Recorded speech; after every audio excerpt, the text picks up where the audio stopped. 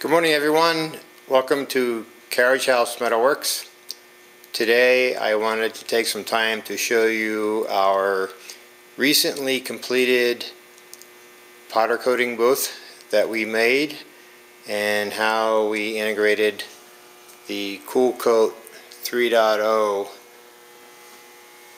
system into the booth. You can see here on the front that we have an elevated platform for the control unit to sit on. And immediately to the left we have all of our bottles and fluidizing keg. Inside the chamber you can see that we've designed in two fluorescent lights to light up the projects that we're coating and an off-the-shelf filter in the back of the unit.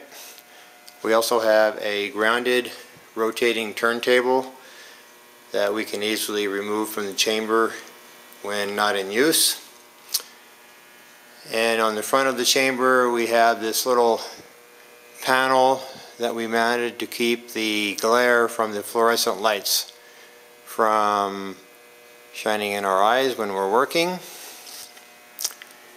And on this side of the unit, we just have our hoses that are hanging off one of the grounding rods that we have.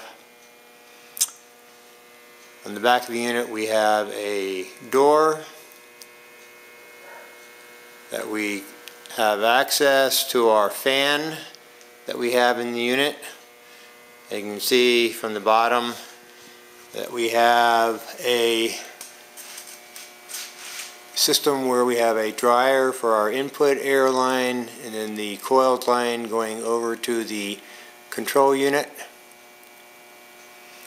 We also have a 4 inch shop vac system hooked up with a micron filter on top of it to ensure that we get all of the excess powder out of the shop while we're working.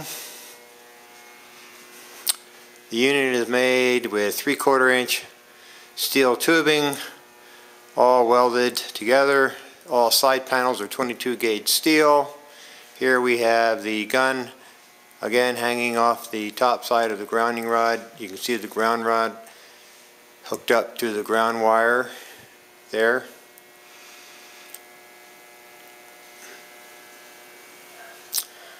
And we have various little magnetic baskets that we hang on the side of the unit with our nozzles and we keep our powder coat on top.